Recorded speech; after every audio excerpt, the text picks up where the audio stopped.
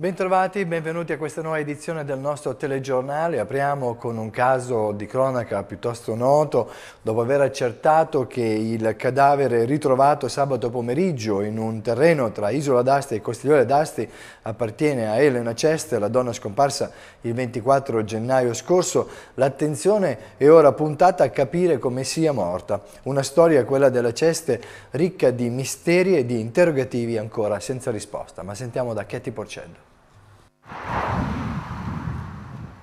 Come è morta Elena Ceste? È questo l'interrogativo che ora si pongono i carabinieri di Asti, che sotto il coordinamento del tenente colonnello Fabio Federici e del capo della procura stanno svolgendo le indagini dopo che il DNA ha confermato che il cadavere ritrovato sabato pomeriggio a soli un paio di chilometri dall'abitazione della donna a Costigliole d'Asti appartiene proprio a lei. Si tratta di suicidio o di morte violenta? E se si è suicidata, perché lo ha fatto? Oppure, se è stata uccisa, chi è l'assassino? Dal comando di Asti le bocche sono cucite e al momento nessuno è iscritto sul registro degli indagati.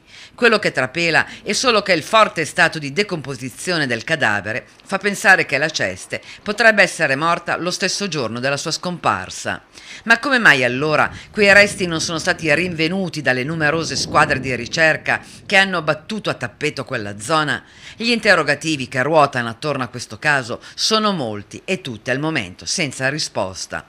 Persino sulla posizione del cadavere i dubbi sono tanti. Chi lo ha visto ha commentato che sembrava appoggiato al terreno. Ma allora quel corpo si trovava lì da gennaio o qualcuno lo ha portato successivamente, magari dopo aver ucciso la donna? L'acqua che scorre in quel canale, così come ha confermato il sindaco di Costigliole, non è mai alta, neppure durante i periodi di piena, per cui appare improbabile l'ipotesi che la ceste abbia voluto uccidersi annegando.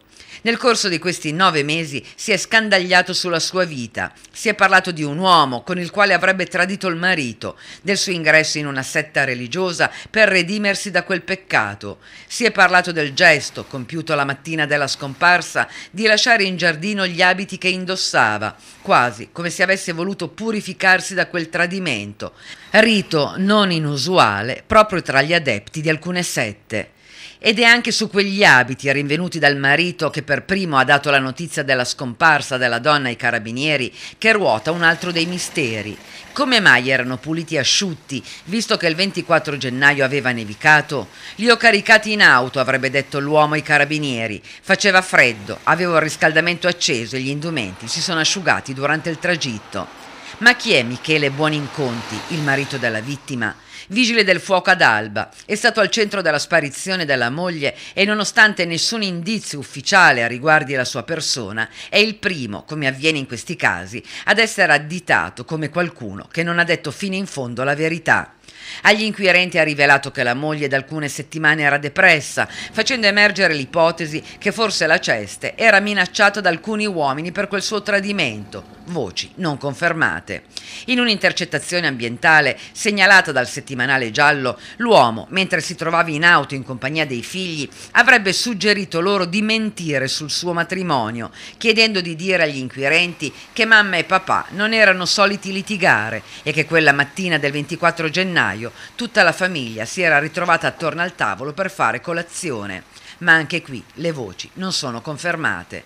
C'è poi un altro fatto, anch'esso senza riscontro, e questa volta a farlo trapelare sono i parenti della ceste, secondo i quali il profilo Facebook della donna sarebbe stato modificato. Sulla sua pagina, infatti, nelle informazioni personali non compare più la voce casalinga, moglie e mamma, ma solo il suo status di donna sposata. Se è vero, chi avrebbe fatto quella modifica, visto che il computer è in mano degli inquirenti dal giorno della sua scomparsa? Chi poteva accedere al suo profilo? Chi aveva la password? Tanti interrogativi, tanti misteri ad avvolgere il tragico epilogo di una semplice donna di paese di soli 37 anni, madre di quattro figli, che in una fredda mattina di gennaio ha lasciato la sua casa per ricomparire nove mesi dopo in un ammasso di ossa lungo un canale di scolo tra Isola e Costigliole d'Asti, con un solo piccolo frammento molle del polpaccio che ha permesso di scoprire che quel cadavere apparteneva a lei, ovvero aveva il nome di Elena Ceste. Adesso una buona notizia per molti. La Tesoreria dello Stato ha inviato 52 milioni di euro al Comune di Alessandria eh, perché possa pagare i creditori che aspettano il saldo delle loro fatture oramai da parecchi anni. Anche il Comune di Alessandria però, secondo il sindaco Rita Rossa, rientra eh, tra quelli che avanzano parte di questi soldi. Serviranno ovviamente a pagare qualche azienda partecipata, creditrice, che aspetta da molto tempo che è sull'orlo del fallimento. Ma sentiamo di più in questo servizio. I fornitori e quindi i creditori del comune di Alessandria che da anni aspettano il pagamento delle loro fatture possono finalmente sperare che questa sia la volta buona. È infatti arrivata dalla tesoreria dello Stato la considerevole somma di 52 milioni di euro. Si tratta di un'anticipazione che sarà a disposizione dei commissari straordinari del dissesto, ovvero l'OSL, organismo straordinario di liquidazione, e serviranno appunto a pagare i debiti del dissesto finanziario della città ovvero quelli che il comune di Alessandria aveva fino al 2011. Il sindaco Rita Rossa ha dichiarato che la somma di 52 milioni è conseguenza della richiesta a suo tempo avanzata di finanziamento della massa passiva, cioè le fatture ammesse al pagamento, che ammontano a 77 milioni e 689 mila euro. Il sindaco Rita Rossa ha ancora dichiarato che la somma ottenuta consente di risolvere in misura significativa il problema di coloro che sono in attesa di vedersi saldare i crediti antecedenti al 31 dicembre 2011. Il sindaco Rossa aggiunge ho portato all'attenzione dei commissari la necessità che anche il comune, creditore di oltre 32 milioni di euro nei confronti del dissesto, possa ricevere una parte della somma. Questa entrata di cassa, dice, ci consentirebbe non solo di pagare i debiti, ma anche di accelerare gli investimenti in opere che contribuiranno al rilancio della città. Il sindaco Rosa conclude dicendo la mia soddisfazione nasce anche dal fatto che la strada della correttezza contabile e del risanamento comincia a dare i suoi frutti e che le ragioni del comune di Alessandria sono state recepite anche dallo Stato centrale. Adesso ritorniamo alla cronaca. Nell'ambito di una vasta operazione coordinata condotta a livello nazionale dalla Guardia di Finanza è stato scoperto che 325 immigrati beneficiavano di un assegno sociale dell'Inps che da qualche anno non avevano più diritto perché sarebbero ritornati nei loro paesi di origine. Eh, l'ammontare di questa truffa è di migliaia, centinaia di migliaia di euro. Scusate. Le fiamme gialle hanno accertato che gli stranieri non avevano segnalato all'Inps il loro ritorno in patria, continuando quindi a percepire l'assegno sociale che veniva versato sui loro conti correnti. Tra le persone denunciate anche un albanese che era residente in Alessandria, il quale continuava ad incassare un compenso di 1100 euro al mese perché invalido, ed un lituano di Valenza che da anni non abitava più però a Valenza e che percepiva mensilmente quasi 500 euro. L'accusa nei confronti dei due è di frodi comunitarie e truffa all'Inps. Sempre in tema di Guardia di Finanza, la provincia di Alessandria, tra quelle del Piemonte, è al primo posto per la presenza e la vendita di merce contraffatta. Nonostante i continui sequestri di prodotti eh, provenienti dall'est asiatico con il marchio CE falso, il danno subito dalle aziende locali è ingente. L'ultimo sequestro è avvenuto da parte della Guardia di Finanza a Serravalle Scriva. Vediamo nel servizio di Franco Capone. La provincia di Alessandria è una delle realtà più colpite dalla contraffazione di ogni tipo di merce posta in vendita in tutto il Piemonte. Lo rileva in un rapporto l'Ufficio Studi Nazionali della Compartigianato affermando che il fenomeno ha provocato in cinque anni la chiusura di 7.000 imprese ed un danno a livello nazionale di 500 milioni di euro. Tra le province del Piemonte che subiscono maggiormente l'irruzione sul mercato dei prodotti contraffatti, al primo posto con il 30,6% c'è Alessandria. Subito dopo, con il 27,4%, Biella. I settori più esposti alla contraffazione sono quelli del tessile, abbigliamento, calzature, occhiali, cosmetici e giocattoli che rappresentano l'89,2% del valore delle merci sequestrate tra il 2008 e il 2013. In questi dieci mesi del 2014 sono stati numerosi sequestri di merce contraffatta sequestrata dalla Guardia di Finanza di Alessandria, oltre 60.000 prodotti di ogni genere. Il mese scorso, sollevando fra l'altro la curiosità sulla merce contraffatta, Le fiamme gialle hanno sequestrato oltre un migliaio di boccettine di vari profumi per un valore di oltre 20.000 euro trovate in un deposito di Acquiterme. Infine, proprio nei giorni scorsi, la Guardia di Finanza di Novi Liguri, in collaborazione con l'Ufficio delle Dogane di Alessandria, ha rinvenuto in un magazzino doganale di Serravalle Scrivia oltre 14.000 prodotti elettrici contraffatti per un valore di 150.000 euro. I prodotti sequestrati, carica batterie universali per telefoni cellulari, realizzati con materiali di dubbia qualità recanti il marchio contraffatto della CE, sono risultati fra l'altro altamente pericolosi per l'incolumità fisica. Ma non solo, la merce avrebbe potuto causare corticircuiti che, in genere, sviluppano incendi ed esplosioni. L'indagine inoltre ha portato alla identificazione di una donna di origine asiatica denunciata alla Procura della Repubblica di Alessandria per frode in commercio. È stata condannata la banda che con l'esplosivo faceva saltare le casse continue dei supermercati, agì in mezza Italia e anche in provincia di Alessandria. Ma sentiamo di più da Emma Camagno si muovevano abilmente di notte su auto rubate o ricettate, portando con sé una miscela di esplosivo e una miccia e facevano saltare casse continue di supermercati autogri. Non sempre i colpi sono andati a buon fine, ma il bottino realizzato in mezza Italia fra gennaio e ottobre 2013 ha sfiorato i 290.000 euro in contanti e 40.000 euro in assegni. In provincia di Alessandria fra gennaio e maggio hanno preso di mira le casse continue dell'Unes di Arquatascrivi e Basaluzzo, Penny di Alessandria Novi, Gullit di Ovada, Bennett di Belforte, Doc Market di Acqui, bottino parecchie migliaia di euro. Sono gli albanesi Kresnik Oti, Oswald Marcu, Lulzim Mici, Artan Pietri e Sander Margiornai tutti giovanissimi, bloccati dalla polizia e dalla postrada di Alessandria al termine dell'operazione Gas Bombe, così denominata proprio per l'uso delle miscele utilizzate. Accusati di associazione a delinquere furti attuati o tentati, sono stati processati dal GUP Enrica Bertolotto. Uno, Luzmin Mici, ha patteggiato 5 anni, gli altri hanno affrontato il giudizio abbreviato.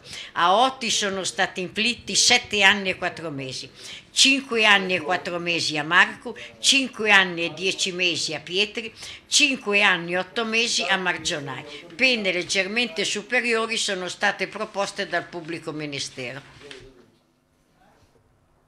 Adesso un caso particolare di cronaca, un uh, automobilista alla vista di un posto di blocco aveva cambiato direzione di marcia, i carabinieri della compagnia di Novi Ligure però insospettiti lo hanno inseguito, hanno ritrovato però l'auto, una Citroen ancora con il motore acceso ma non più l'autista. L'auto era in sosta davanti alla stazione ferroviaria di Stazzano. Da un controllo effettuato all'interno del bagagliaio della vettura i militari hanno rinvenuto due borsoni sportivi contenenti 55 kg di hashish confezionati confezionati in tavolette da 100 grammi ciascuna. Dalla vendita gli spacciatori avrebbero potuto ricavare circa 500.000 euro. Sono in corso indagini per identificare gli occupanti dell'auto.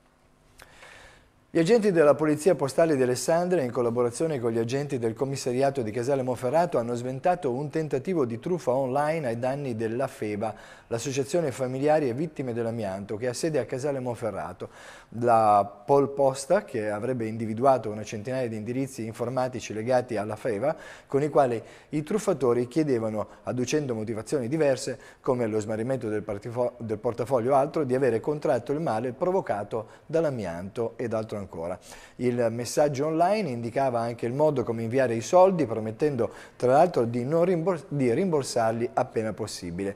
Il messaggio, commentato Bruno Pesce, componente dell'associazione Vittime dell'Amianto, è falso ed ha affermato che si è trattato di un tentativo di truffa che ha creato gravi disagi.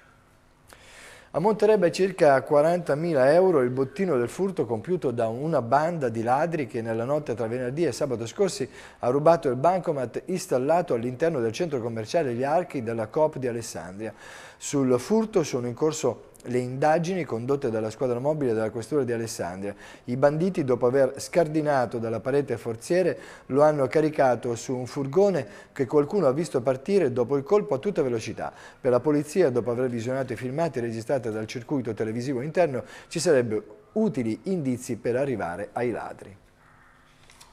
Torniamo a parlare di alluvione. A Novi Ligure si lavora per quantificare i danni provocati dall'alluvione della scorsa settimana e il Comune invita i cittadini a consegnare le schede di ricognizione per conoscere l'entità dei danni provocati dall'ondata di maltempo, eh, che solo per la viabilità sappiamo ha provocato danni per oltre 20 milioni di euro. Ma ce ne parla Enrico Maria.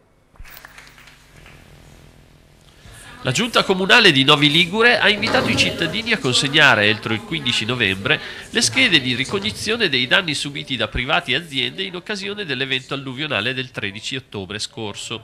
In questo modo sarà possibile avere un quadro più preciso dell'ammontare dei danni stessi.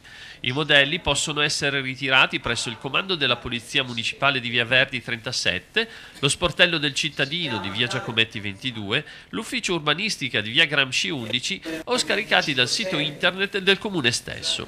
In questa fase non è necessario presentare perizie. In ogni caso la Giunta consiglia di allegare alla richiesta quanta più documentazione possibile, anche con il supporto di fotografie dei beni colpiti.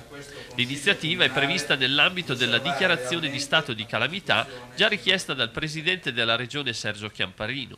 In città, solo per risistemare la viabilità, ha affermato il sindaco Muliere, saranno necessarie molte risorse. Da una prima stima i danni ammontano a circa 2 milioni e 300 mila euro.